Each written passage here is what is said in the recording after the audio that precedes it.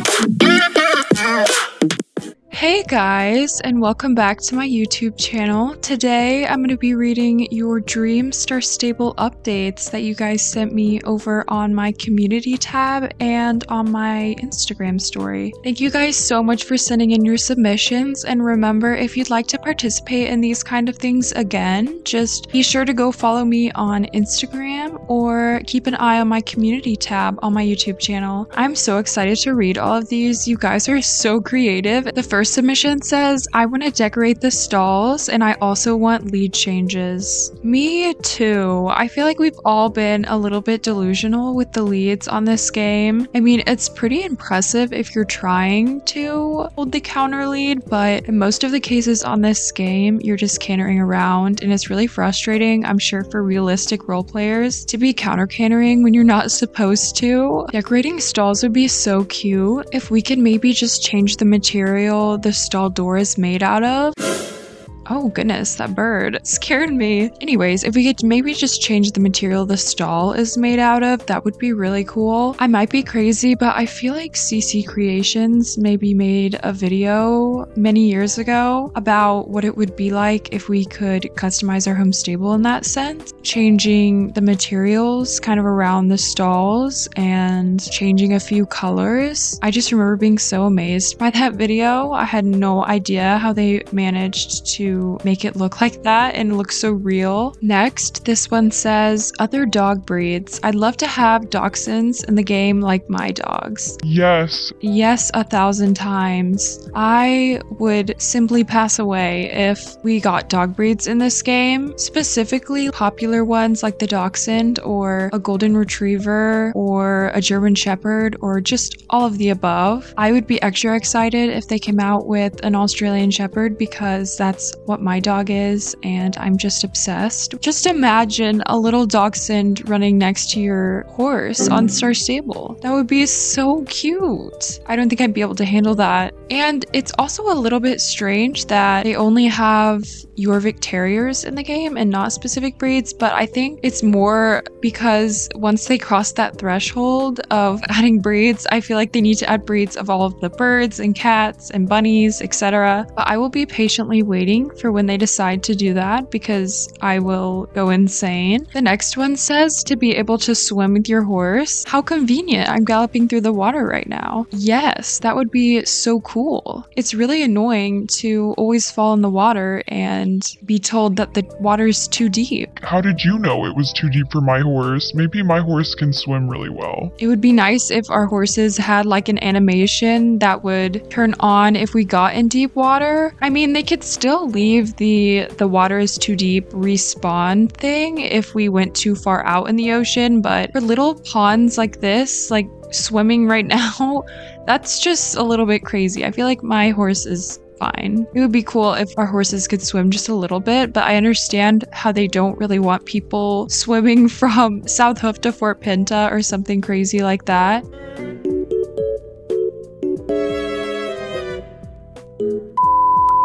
Oh, see, this is so annoying. Like, what is going on? I am not swimming right now. Next, it says infinite shillings. I don't know why those emojis just made me giggle. Infinite shillings would be so convenient. It's really annoying to have to collect the perfect amount of shillings at all times and ending up losing shillings when you're trying to sell things. And it also doesn't make sense if star coins can be infinite, but shillings can't. Sounds kind of sketchy if you ask me. The next submission says being able to play with keyboard on mobile. This would be really nice. I didn't know, I don't play mobile a lot, but when I do, it's usually for club events or places where I can't access a computer. But I didn't know that you couldn't play with a keyboard on mobile because that would be so nice. I've never thought about it because I don't own one of those magic keyboards that attach to an iPad. If you could play with that keyboard, it would probably be so wonderful. That would make mobile so much easier. Mobile in general just really challenges me. I'm not the best Star Stable player, so having a keyboard would help me out a lot because I feel like it takes a lot of hand eye coordination to play Star Stable Mobile, and I just have about zero of that.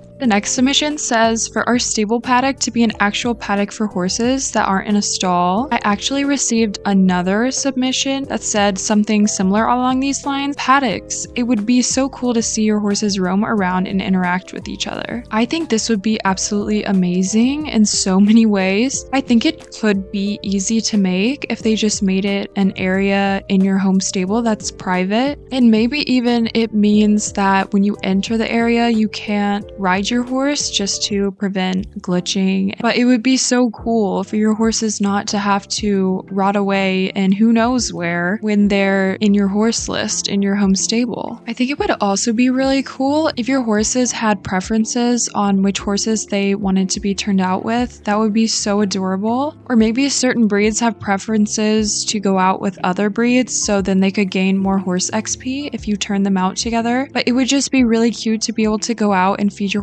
horses treats or just see them grazing in the field. They could kind of make it how they have it on the Star Stable Horses app, but maybe in the game, where you can go up to the side of the fence and feed them things. That would just make me really happy. I always miss these little recyclables. I'm trying to get the cat, no surprise, from Big Bonnie. I am obsessed with the cats on Star Stable. The next one says new Connies. I know they've talked about a Gen 4 Friesian, and I'd love to see a Connie in their Me too. I feel like we're needing a smaller horse breed because they've come out with the Dutch Warmbloods and the Ardennes recently, and I think it's about time for either a pony breed or a small horse. Please feel free to correct me in the comments. I can't remember if the Connemara is a pony technically or if it's a horse, but I think they would look so cute in Star Stable style too. I don't even hate the old Connemara's. I think they're pretty good for when they came out, and their animations aren't bad and they have pretty cute faces. They don't look weird or derpy like some of the other old horses. I really like the way they jump too. I totally agree with you there. I think they would look great in this game, and I'm really excited if they were to come out with them soon. I do know next in line, I think, is the American Saddlebred and the Friesian, but hopefully we can get news soon on what the next breed is going to be. The next one says the option to decorate your stable or a cute little house slash room to decorate. This would be revolutionary. I would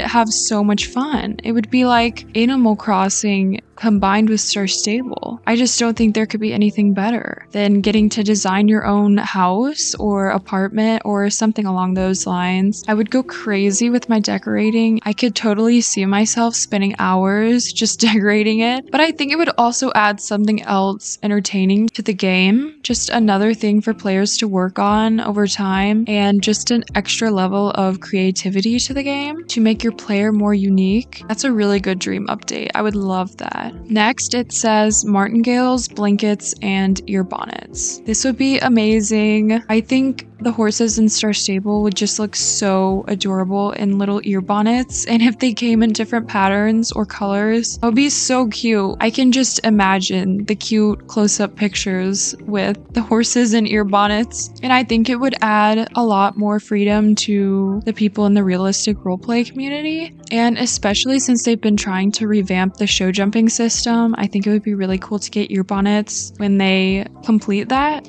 As for martingales, I think that could be tricky just because our reins already still glitch into the horse's neck, and that's been going on for years. And I think if they added martingales, it would just make everything way more problematic and super glitchy. But if they did them correctly to where they fit every horse really well and moved with the horse, I think it could be really cute and really cool. But at the same time, I kind of like the way horses look and tack without martingales. The only reason martingales are there are for a purpose, and I believe it's to help hold your saddle forward and keep the horse's head at a normal position. But in this game, I feel like horses don't really need that. Also, obviously, our character's saddle can't slide off, so I don't know that they're needed, but I do think that they would be cool to have. I think the easiest thing to bring into the game would be the blankets. They could be something that you could only attach to your horse if you weren't riding, maybe, just to prevent things from glitching and putting tack items on top of blankets or things like that.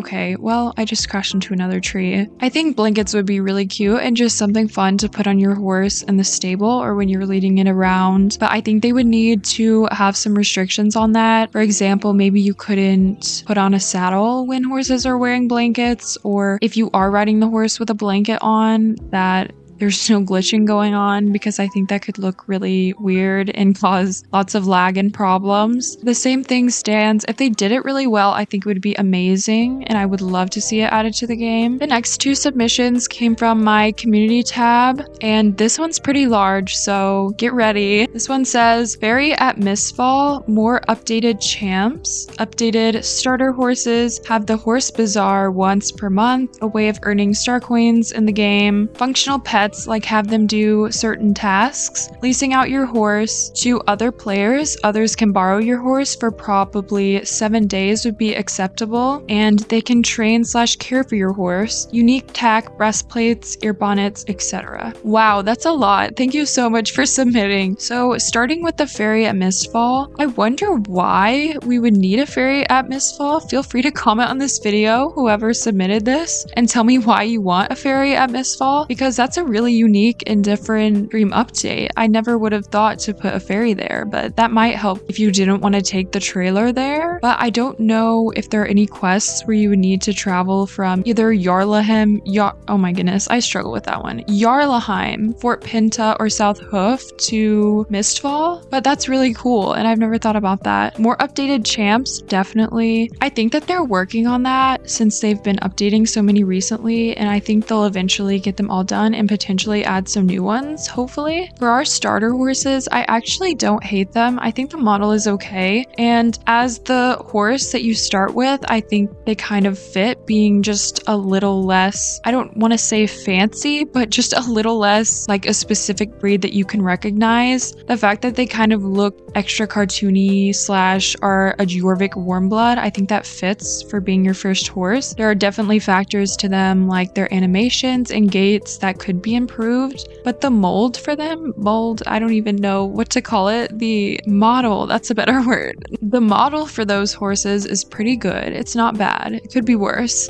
Having the horse bazaar once per month would be so amazing. I would be so happy. I think it's just a good way to discount horses that have maybe been out for a while. And I think it also just inspires players to buy them. And I think it's a helpful tool for not only Star Stable, but for just players that wanted a horse that maybe couldn't afford it during the time that they were released. A way of earning star coins. That is something I have been wanting for decades at this point, or just being able to sell things that you bought for star coins and get your star coins back would be improvement. But it is pretty discouraging that you can't get star coins any other way than purchasing them. So I definitely agree with that one. That's definitely on the top of my list too. Functional pets, having them do tasks for you, that would be amazing, especially for quests that are really boring and they want to make you cut down trees or pick up things. If you could just send your dog over to do it, that would be amazing. And that's also just such a good idea. I've never even thought of that. I think that kind of goes along with maybe adding some more personality to the pets, just because I feel like all they do right now is kind of sit around or chase us around. You know, honestly, sometimes I feel kind of bad for the pets because they've been running next to my horse for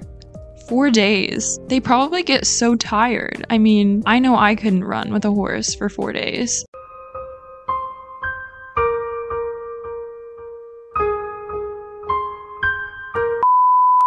The leasing out your horse, that's so cool too, especially if a player wanted a horse but didn't want to buy it yet. And that could be maybe an extra way to earn shillings. I just don't know that many people would want to lease out a horse in this game only because they could just buy the horse themselves. The feature of leasing a horse in real life, I feel like is used only if you want to ride a particular horse that you can't get anywhere else, or there's some special quality about that horse that you want. But in this game, it kind of defeats the purpose of leasing racing if you can just get the horse yourself. I think that's something else that kind of introduces the idea of breeding in this game. It would be so difficult because they would have to add thousands of different variations of horses and coats. That would be the only way that we would be able to sell or lease horses to other players if they were just unique and nobody else could get them. Otherwise, it's kind of pointless. But it would definitely be something really cool and it would be kind of fun to just lend a horse to a friend for a weekend. Okay, I didn't finish reading your sentence there. You said that they could train or care for your horse. That would totally make it worthwhile. So if Star Stable released a leasing program where you could train your friend's horses, that would be amazing. Or even if they just added a feature where you could train your friend's horses and get shillings or star coins or something, I would totally do that. I love training. The next one says updated star coin allowance. I think that would be amazing, especially with all of the redeem codes that we've been getting. I think they just want to keep the allowance at 100 star coins, but if they surprised me with having 200 star coins, per week, that would be fantastic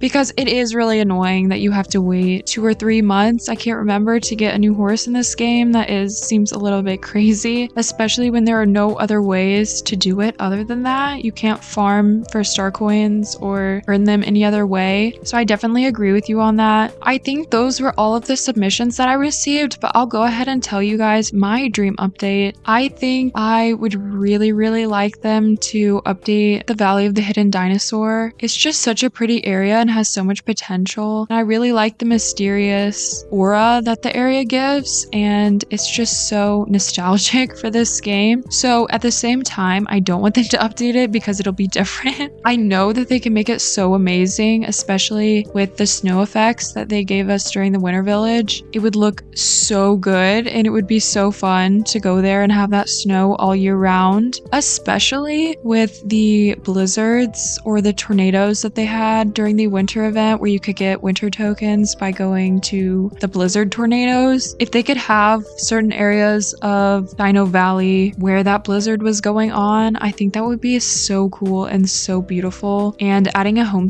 there too would be amazing. I think my dream updates in general all just have to do with releasing new areas. I think that we need more extreme weather situations. If we had a desert or just updating Dino Valley, I think that would be so cool, especially with all of the horses being from different parts of the world. I think it would be fun to have those areas represented in the game. And that kind of brings me back to being sad about them taking away the cold tolerance from horses. So that kind of makes me a little less hopeful that they will do this, but maybe they can still do it and just have no horses be extra tolerant. Alrighty, you guys, that's it for this video. I hope you enjoyed seeing everyone's dream updates. Don't forget to follow me on my Instagram or keep an eye on my community tab on my YouTube channel to stay updated with what's going on on my channel and what's coming next. If you enjoyed this, please subscribe and I can't wait to see you in the next video. Bye!